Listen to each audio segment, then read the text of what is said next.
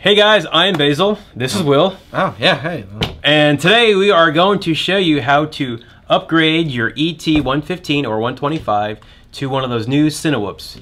Basically, we're going to show you how to, in less than five minutes, we're going to show you how to add a HD camera, either the Runcam split is what we did, and we're pretty sure the Caddx will fit too. All right, so if you've seen our last video, we literally took the whole thing apart, physically flipped around the motors and the flight stack because the way the mount is designed and the way the hole pattern is in the frame, you had to physically turn it around. Yeah, so we're going to work smarter, not harder this Yeah. time, and we're going to do what I was talking about in the last video about resource mapping.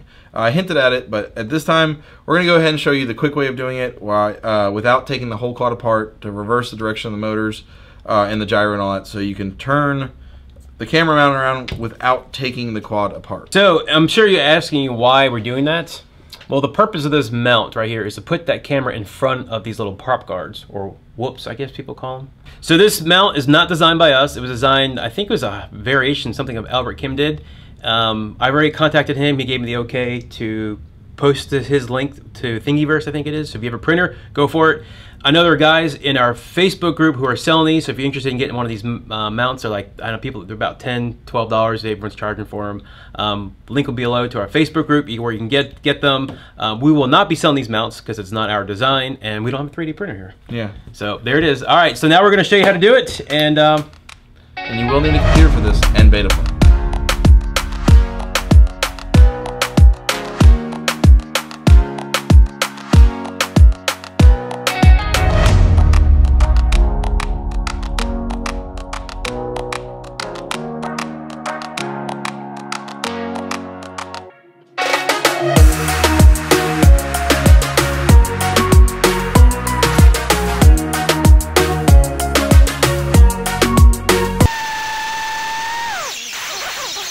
Before we begin, mine's a FreeSky. It comes with the AC 900 receiver. Yes. Will Now- this also work with the fly sky? The resource mapping that we're about to do, the, the changes in Betaflight we will uh, be doing, will not affect whether you have Spektrum, Fly Sky, or Free Sky. So the receiver does not matter in this case. Gotcha. Um, we're just changing the how the flight controller reacts with the motors. Gotcha. All right. So the whole software mapping thing I was talking about, basically it's resource mapping. If you ever watch any of Bardwell's videos, he actually has a great video on how to do resource mapping. What we need to do on this, instead of taking the whole thing apart, is do resource mapping and change the direction the the gyro sees as straight or as front.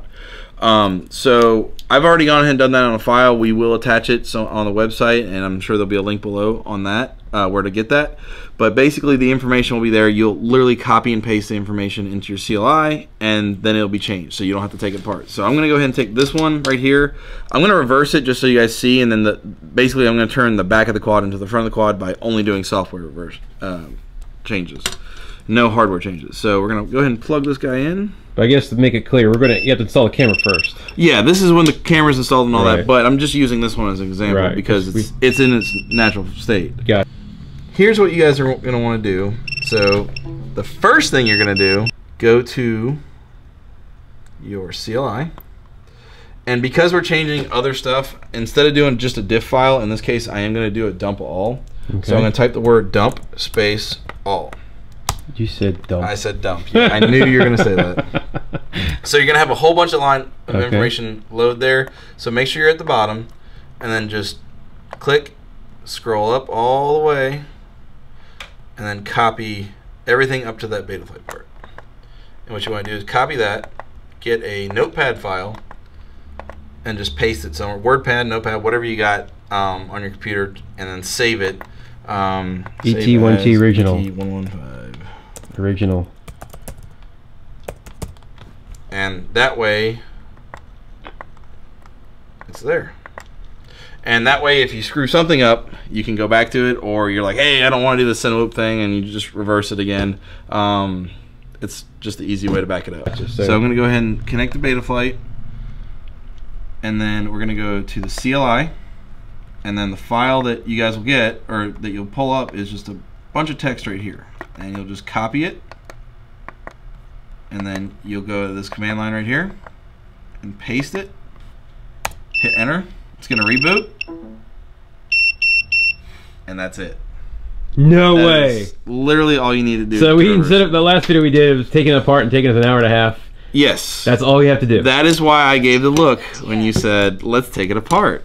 I was like, there's no need all to take right, it apart. so you fancy schmancy programmer. Let's see if this thing works. All right, so now the front is the back, and the back is Yeah, the front. so I'm going to go ahead and put it down. All just right. here on the floor right here.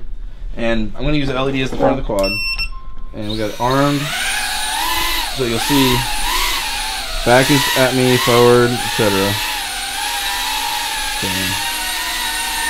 Literally all it did is reverse everything electronically because there's instead of taking the motor, unplugging it, moving to a different port because is a um, the board is the pins are part of the board. There's not movable wires or plugs. Mhm. In this case, you can do the resource mapping by changing what pin controls what motor. Okay. So that's what we did there. The only different problem is if you do that, then the gyro still pointing the natural direction is facing forward, so Right. you have to reverse that.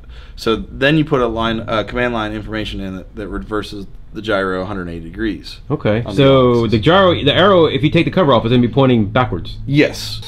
So you're pushing forward, pulling back, going right, going left, and that's all there is to it. All right, so what you're gonna see is the command line information I did changed this line right here. The yaw is 180 degrees on the board and sensor alignment. But guys, I've done all the hard work for you. If you have the ET 115 or 125 and you are trying to make a Cinewhoop out of it, and you are reversing it based off the video we did to where you need to get the camera to the other side and reverse the quad's direction, this is all you need to do is literally copy and paste in the CLI the information there um, and load it up, and that way you don't have to take the quad apart other than changing the camera area. Question we get a lot is flight controller upgrades or beta flight upgrade. Oh, updating Betaflight. Um, there's really no need. I mean, guys, uh, these are if you're running an F3 and all that, having the latest and greatest firmware. Yeah, if you know what you're doing, awesome. But these quads fly so good out of the box. Yeah. Um, I just went to the park yesterday and I was flying with some buddies, and they were all amazed on how good this little ET 115 was flying. Um, and they were like, "How'd you tune it?" And I was like, "Guys, this is Stock. out of the box, other than rates. I, all I did was turn up the actual rates Yep. um, of uh, rotation." Um, so realistically, I mean, yeah, you can tune them, you can tweak them a little more, but Right, but you don't need to good out of the definitely don't need to um, put the latest firmware on here. Yeah, the, the latest firmware. I mean, there's weird things all the time with Betaflight. You Mhm. might like lose your real LED uh, capability and all that, and just stuff like that. And if you don't know what you're doing, you could really cause a lot more problems, or you just have a very expensive paperweight at that point. So for those who like to upgrade and update all your drivers and your firmwares, this one is not the one to do it with. At least if you don't know what you're doing. Yeah. If you Um, are gonna do it though, if you have to, you're not listening. You, you just insist on updating the firmware. Please do that CLI dump. Back up everything. Um, make a file. Make sure you remember what firmware version you had prior. And if you do it that way, if something screws up, you can always fall back. Right. Um, if you don't have that fallback, that backup, then you're gonna be um, up the creek without a paddle. Yeah. So, And so we've seen it. We've pretty much seen it all because we've heard it all. And then another question we get all the time is about drivers. Okay, yeah. So if you guys are having trouble getting the computer to connect, um, if you can't get it to pull up and show the COM port in the corner, uh, one check, make sure your cable is a true data cable. That's a, That's a common. problem. Even with And- me, I've had some. I've had cables that just don't work, and Mm-hmm. I've had USB ports that don't work. So sometimes it's a matter of going to a different USB port, etc. Um, if you try that, you plug it in the computer, you can hear it make a sound like it's recognizing something plugged in, but it's not doing anything. Um, there's a uh, application called RC Driver Fixer. You can download that, plug in the quad to the computer, have Betaflight open, open up RC Driver Fixer, and then run the app, and it will automatically install the necessary drivers for you um, to get the the connect, quad to connect to the computer again. So that's a great little resource. We'll have a link below on that one. Uh, there's a ton of little YouTube tutorials. There's some good uh, articles online about further how to use it and all that too. Right. Uh, we'll link to some of those too. So we're gonna take the mini split here, and one thing you're gonna find is how is that gonna plug into that? You get two of the same size. Doesn't happen. Well, it comes with a cable in the packaging right here. So you could, in theory, plug one into the other if you move the pins around because these do not match up. I'm going to go ahead and plug this in to show you what I'm talking about. If you plug it in and then plug it in, you're going to have a good or a bad time.